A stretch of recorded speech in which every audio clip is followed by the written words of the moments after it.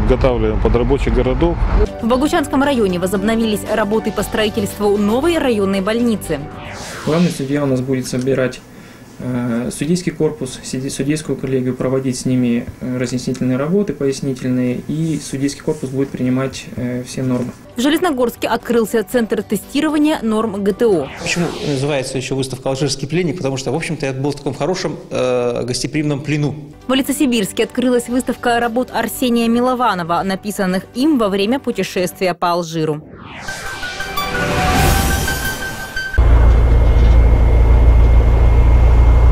Шум техники на стройплощадке районной больницы вызывает приятные эмоции. Хочется сказать коротко. Дождались. Еще в декабре поступила радостная новость о том, что определен подрядчик на завершение строительства предприятия из города Канска. И вот уже техника располагается на стройплощадке. Начинаем э, строить, э, подготавливаем под рабочий городок. Ну, первое, как обычно, настройки начинается. Будем организовывать столовую здесь свою. Значит, э, технику завозим. Сейчас ну, захватили ваши морозы. Как бы техника не выдерживает, люди работают. Ну, э, значит, в понедельник, вторник уже э, большой наплыв уже был. Начинаем приступать к демонтажу. Ну, как, э, новую документацию получили. Тут реконструкция, тут старая уже, которая по проекту была. Уже корректировки, где-то стены разбирать, где-то новые фундаменты сейчас делать. Ну, начинаем, все, заехали.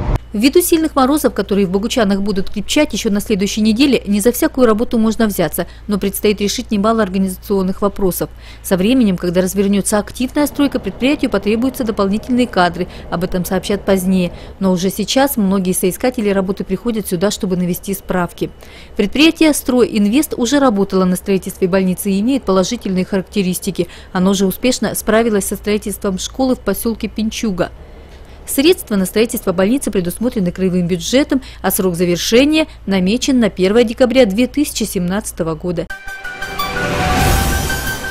В Минусинске из-за пожара в жилом доме могут остаться без крыши над головой 8 семей. Огонь вспыхнул в одной из квартир. Во время тушения пожарные разобрали печь, на которой фактически держалось отопительное устройство этажом выше. Люди боятся, что оно может в любой момент провалиться сквозь прогоревшие балки и потянуть за собой дымоход и кровлю. Жители просят от администрации новое жилье или помощи в восстановлении поврежденных квартир. Дымоход один, стояк один. Если пожарниками разрушена та печка, значит эта моя висит вообще не на обоях. Ирина Городова теперь живет в квартире фактически без полов. Часть выгорела из-за пожара у соседей снизу, часть разобрали спасатели, чтобы затушить огонь. А теперь вместе с потолком может рухнуть печка. Ночевать приходится у родственников. Вчера, когда мы здесь пытались выносить что-то, мебель какую-то, э, посыпались кирпичи вниз с этой печки, и трещины пошли на глазах. Мы просто испугались и ушли. Я вот сегодня приехала сюда, чтобы э, как-то посмотреть, у меня же здесь все имущество. У меня некуда сейчас вести ничего. Пожар случился в понедельник вечером в квартире на первом этаже. Огонь тушили до полуночи. Предварительной причиной возгорания называют нарушение правил безопасности при эксплуатации печи. К счастью, обошлось без жертв. Вот только одинокая мать с двумя детьми осталась ни с чем, без жилья и вещей. На мою зарплату я одна-двое детей. Я, не- нет возможности построить это что-нибудь снова. С- Средств у меня 9 тысяч, зарплата 10. То есть установиться сами Я сама не смогу.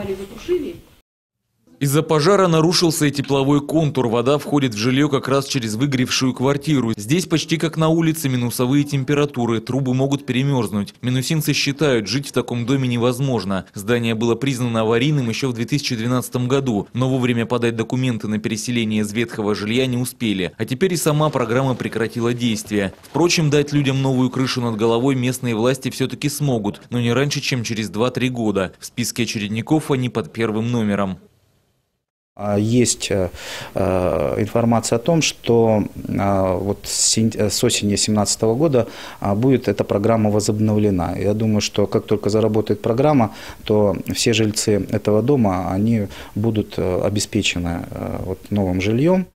В администрации отметили, пострадавшие квартиры находятся в собственности у жильцов, а значит и вся ответственность за сохранность имущества лежит на них самих. Впрочем, погорельцам готовы предоставить помощь в размере 10 тысяч рублей, обеспечить одеждой и продуктами. Сейчас обсуждаются и другие меры поддержки, в том числе и по восстановлению пострадавших квартир. Но это решение будет принято не раньше пятницы.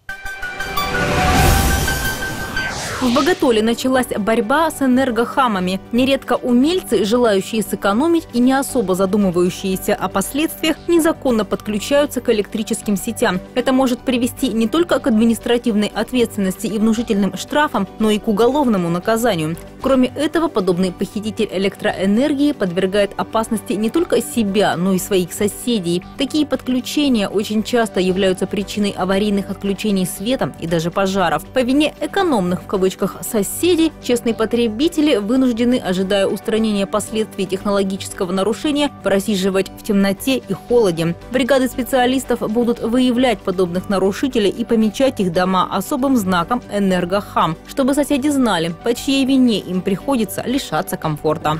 В крае стартовал конкурс спектаклей для участия в региональном фестивале «Театральная весна». Ежегодно в рамках фестиваля более 7 тысяч жителей Красноярска и гостей города знакомятся знакомиться с лучшими театральными премьерами. Эксперты определят самые яркие постановки 2015 года. В январе эксперты посетят театры Норильска, Лесосибирска, Матыгина. Затем побывают в театрах Красноярска, Шарыпова, Ачинска, Минусинска и Канска. В марте на фестивальной неделе ценители театрального искусства смогут увидеть самые лучшие премьеры театров Красноярья. А в Международный день театра 27 марта состоится церемония закрытия проекта и награждения победителей фестиваля «Театральная весна».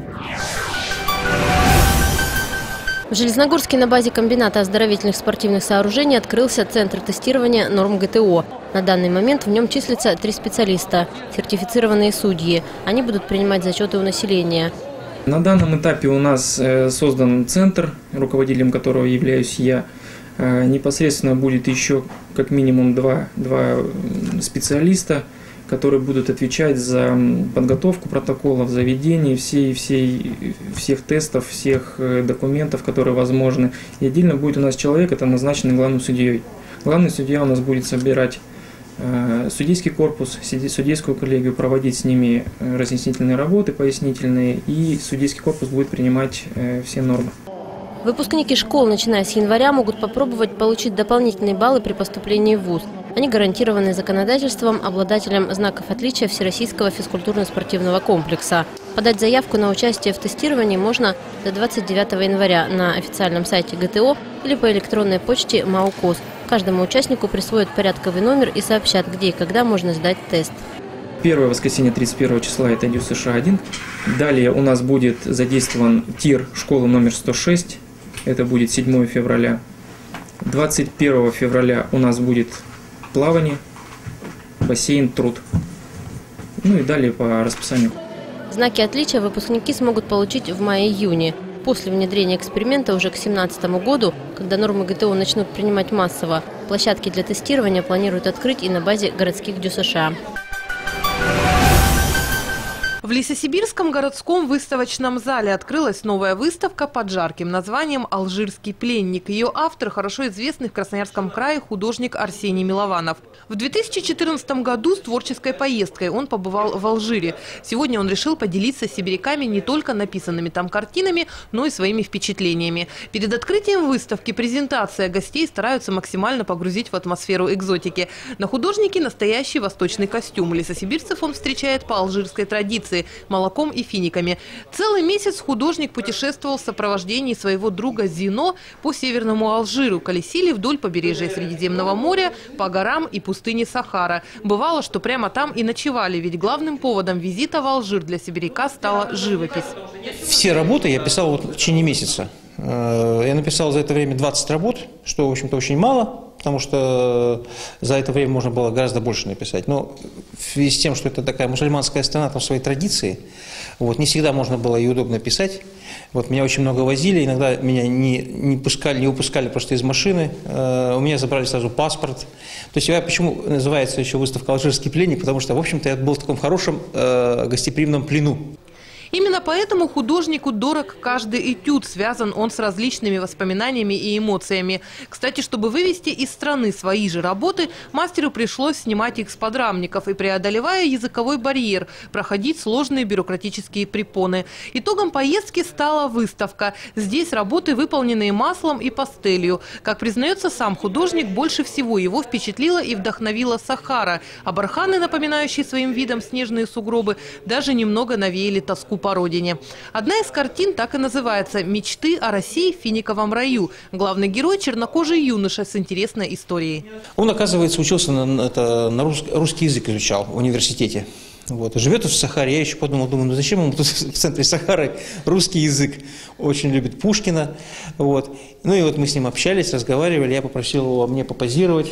Часть экспонатов – личные вещи художника, предметы одежды, обувь, необычные камни или даже песок, чайники, найденные в пустыне, и подарки местных жителей. Например, вот этот алжирский флаг с памятными автографами. Арсений отмечает, что к его приятному удивлению алжирцы оказались очень гостеприимными и доброжелательными. Хотя напряженная ситуация на Ближнем Востоке внушала некоторые сомнения перед этой поездкой.